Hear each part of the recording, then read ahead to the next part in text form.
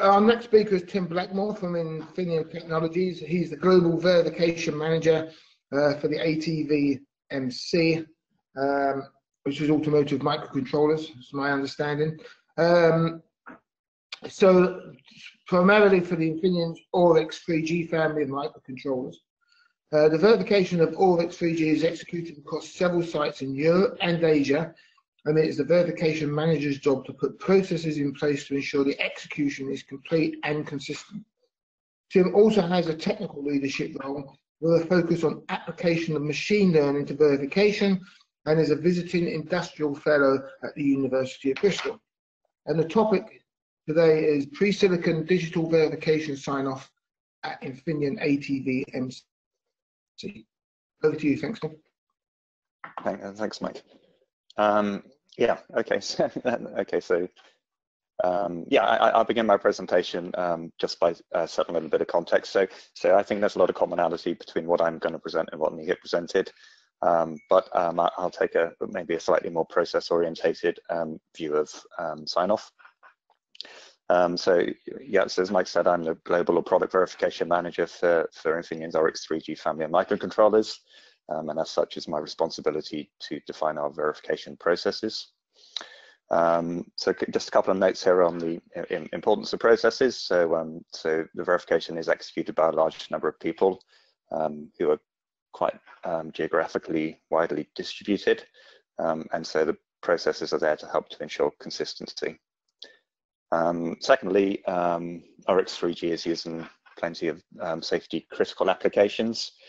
Um, so not only is it important it works, but it's um, important that, um, that we demonstrate that we're compliant with standards such as the ISO 26262 functional safety standard, so that we can so that we can demonstrate it works. And, and, and, having, and, and having processes in place helps us to show this compliance. Um, in, in this context, when I talk about uh, in verification here, I mean verification in really quite a um, broad, um, uh, really broad interpretation of verification. Um, so it, in, it, includes, all the usual um, pre-silicon uh, verification um, disciplines such as digital verification, analog verification, AMS, power aware verification with UPF, and so on. it also includes post-silicon verification. So it includes validation, characterization, reliability, qualification, and so on. Um, but the focus for this, present, for this presentation, I've just focused on uh, pre-silicon digital IP verification. So, um, so, so all the examples, um, the the, um, the, the principles of what I talk about will apply um, uh, applies to all of these verification um, disciplines, but but I'll just use examples from digital IP functional verification.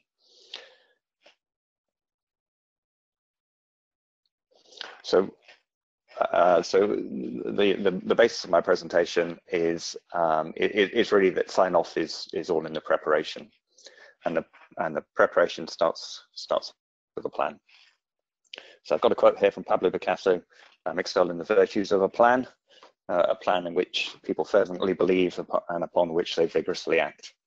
Um, which which all sounds very wonderful as the author of the uh, product verification plan for Aurix 3G. Um, so what is the product verification plan? Um, well, it, it's a number of things, but um, in particular, it, it, um, it does these um, three things highlighted in bold here. So it sets the verification objectives. Um, it describes the verification methods that you can use to achieve those objectives. And it stipulates what the targets are to show to show that you have achieved the objectives. And it's, it's really these three things um, which which ensure um, consistency of execution uh, to some extent, and and certainly consist consistency of um, sign off. So I've used uh, two very similar terms here. I've used the term objectives and the um, term targets. Um, so I just a, a, couple of words on on on how they're different. So when I talk about verification objectives, these can be really quite high level, quite abstract, um, and they can be written without any detailed knowledge of, of how they will um, actually be achieved. Um, so, so for instance, they can be written by non-verification experts, they can be written by concept engineers, they can be written by application engineers. Uh, when I talk about targets though, um, targets are really about an expert interpretation of, of the objectives. So an interpretation given by an expert in verification. Uh, but most importantly, targets really must must give you an, an unambiguous pass or fail. Um, so, so we we know we've um, achieved our objectives by um, by by mapping these these targets onto these objectives, and then um, having an, an ambiguous pass for our targets. So if I um, uh, dive down a bit into what the objectives are for um, for, for pre-silicon digital IP verification, um, the first objective um, concerns requirements and features. So um, requirements and features are both types of verifiable statement, and a verifiable statement is something which can be reasonably mapped onto verification targets. Um, the difference between requirements and features are that requirements are written by concept engineers and features are written by uh, verification engineers. Um, and the features, so the product verification plan um, defines methods that should be used to derive these features. Um, so there's a, a, table of methods for deriving features in the in the product verification plan. Um, the table extends similar tables in the ISO 26262 standard and includes methods such as analysis of boundary values. Um, so if you if you're verifying a range of values, you pay particular attention to um, to values um, at the limits of uh, that range. And another method is knowledge or experience-based error guessing. So a, a, a, what can go wrong analysis um, of of the design. Um, it's important also the verification engineers take input from other stakeholders. So um, a good example there is, um, is that they take input from design engineers um, as to what the um, corner cases in the actual design implementation are. Now, if we could, um, if we could confidently state that we captured all requirements and features, uh, then this this would probably suffice. Um, but the truth is, it's um, it's possible that some requirements or features are missed, um, and and so we have other objectives. Um, so the second objective here is that all RTL code has been exercised. So so we know from experience that if there's any RTL code which hasn't been verified, uh, then it's um, then it's um, likely to be buggy. so we so we include this as a second objective.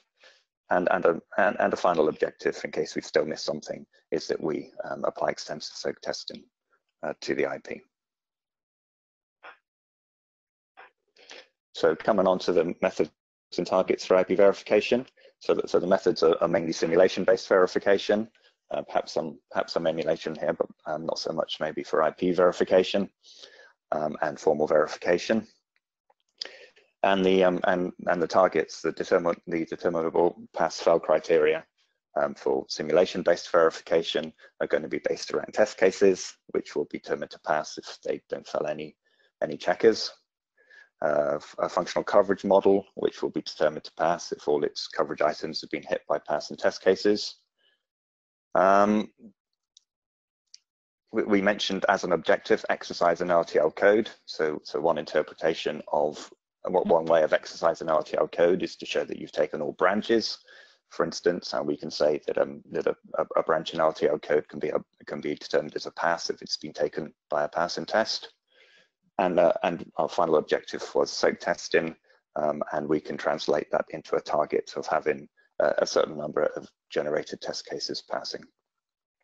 So those are the sort of targets we're talking about for simulation-based verification. Uh, for formal verification, um, your, your target's going to be based around properties. Um, you're, you're, you're, going to want your, your properties to hold non-vacuously, um, or, or, maybe um, um, maybe you might be satisfied with a bounded hold. Um, property checking tools come with their own version of code coverage in them, so that might be more analogous to statement coverage, for example.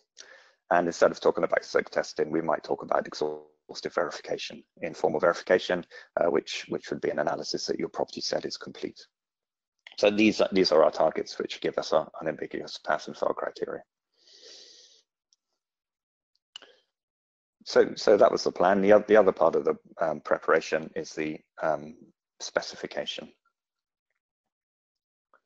So there's one there's one project product verification plan which sets out the principles um, that are used for um, for uh, verification sign-off.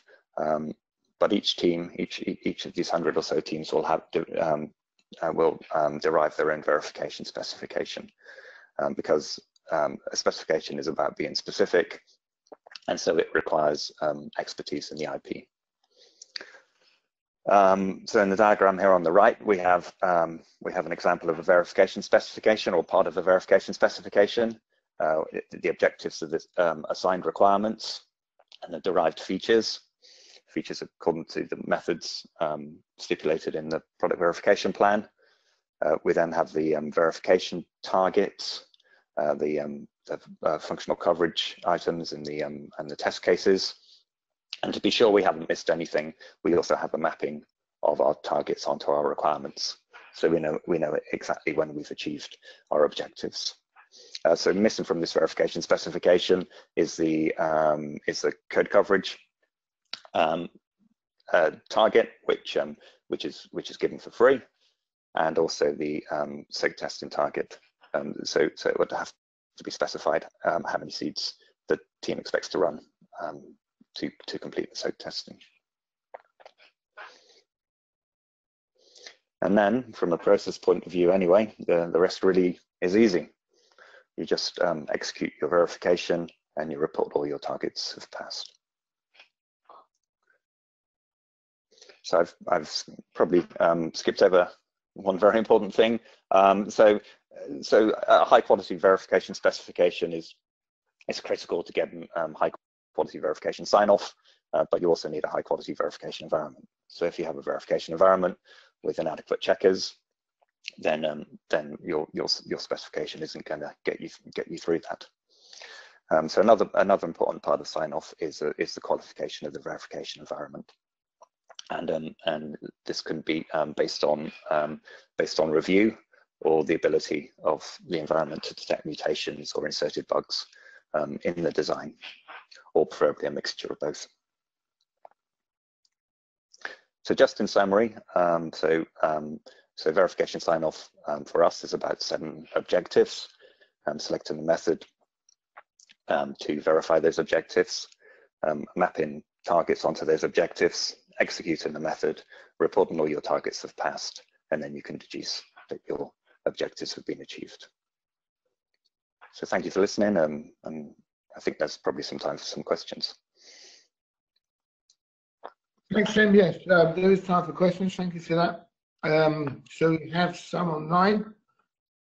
Um, the first question is from uh, Sylvian Plankelin, who got his question in first this time, so he gets asked. Um, does it make sense for you to reuse your assertions done for formal verification in a dynamic context? Um, it, yeah, it may make sense. Um, so your your assertion is useful. You say your um, your uh, formal verification environment will have constraints on it. Um, it it's possible that those um, eh, those constraints are too restrictive um, by mistake. so it certainly makes sense for you to use those to to use those constraints as assertions in a verification environment to show that they haven't been uh, violated. Um, and and, of, of, and obviously, if you if you're relying on a bounded hold, then it may make sense to um, reuse your assertions, your your formal assertions in a in a simulation environment. Okay, thank you. Thanks, Tim. Um, a question from uh, Philip Olzeski um, regarding formal coverage. Um, I think you may have answered this, but anyway, do you apply techniques like mutation, also known as fault objective detection as a sign-off criteria? Yeah, so I, I think, yeah. Um, so, so first of all, um, to say that, um, yeah, formal verification tools will have um, code coverage uh, metrics um, built in, and those code coverage metri metrics may themselves be based on uh, um, ability to detect mutations across your property set. But yeah, independently of that, yeah, the, the, formal verification, um, the, the, property set will form part of the verification environment, which will which will be part of the, which will be qualified with mutation testing. Yeah. Thank you. And uh, a question for myself, actually, Jim. so I've always found formal verification uh, metrics not as obvious as um, code coverage metrics and quite hard to integrate with um, simulation-based metrics. Have you found a, a good way, a, a, good formal cover, uh, formal metric that you'll use and, and integrate with dynamic or not? Yeah, so yeah, I mean, so one thing I, I didn't mention is the, the, the product verification plan will also will, will say these are the methods you can use, and it will also say whether you can use a mix of those methods or not, and it will also say if you use a mix of those methods how you should how you should do it, and it, and it would certainly um, not allow you to blindly mix coverage um, between formal and, and simulation. So I think, um, I, I, so I think, um, I, yeah, I, mean, I think that's tantamount to saying, you know, all the gates in my design work, so my design works.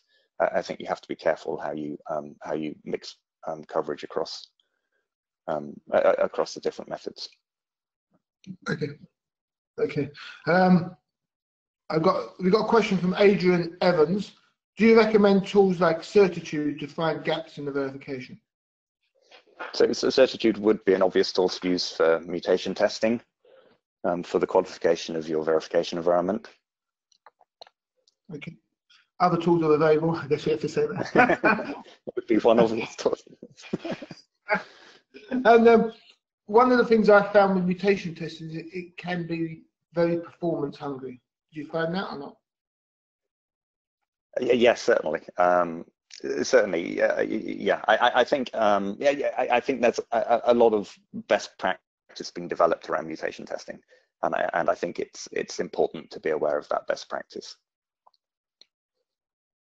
Okay, uh, we've got a couple of minutes left and still some questions coming in, which is good. From Sylvia, another question from Sylviane. Um, how do you map your objective with target on slide nine?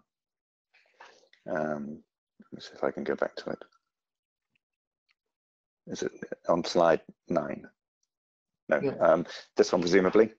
Yeah, so, so, this is this this is done as so. So as I said, the this requires interpretation by the verification engineers. So the verification engineers, um, first of all, have to sa satisfy themselves that their objectives are verifiable, um, so that they can be reasonably mapped onto targets, and then they have to um, then then they have to decide um, what the appropriate targets to map onto those objectives are. Um, so, that, so this is down to interpretation by the verification engineers, and and and it will be reviewed as well. Okay, okay, that helps. Um, uh, somebody else has asked a question, so I'll move to uh, Aditya Pulli. Um, and I think this may be drifting into uh, test rather than uh, functional verification, but I'll ask it. What kind of metrics do you use to sign off random transient, random transient fault verification? I think that might be a uh, question. Yeah, yeah, yeah, so this, so we're talking about um, uh, functional, uh, functional safety metrics. Yeah, yeah, um, yeah. Um, yeah. So, um, so, uh, yeah, so, so that's that's probably a presentation in itself. But but but um, you'll have you'll have an FMEDA which which will give you um, target coverage for transient faults and um, and, and and that that will give you a metric to sign off against. Yeah, agreed. I think that's more the uh, a fault coverage question for test. Okay. Um, so we've, we've, run out of time, Tim. Thank you very much for the presentation and for answering the questions. Um, we've got a good spread of uh, questions there and people. So thank you very much. Thanks, Tim. Thank you. Thank you.